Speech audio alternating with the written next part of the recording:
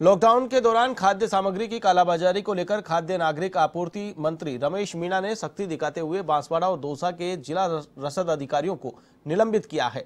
रमेश मीणा ने सचिवालय से वीसी के माध्यम से सभी अधिकारियों से फीडबैक लिया। इस दौरान लापरवाही पाए जाने पर दोनों अधिकारियों पर गाज गिरी रमेश मीणा ने कहा कि लॉकडाउन अवधि के दौरान कालाबाजारी करने वाले थोक एवं खुदरा विक्रेताओं के खिलाफ कड़ी कार्रवाई की जाएगी। उन्होंने कहा कि लॉकडाउन अवधि के दौरान आवश्यक राशन सामग्री नियमित रूप से डोर टू डोर पहुँचाने के लिए शत प्रतिशत प्रयास किए जाएँ। जरूरतमंद व्यक्तियों को चिन्हित कर ड्राई राशन सामग्री का वितरण करवाया जाना सुनिश्चित करें।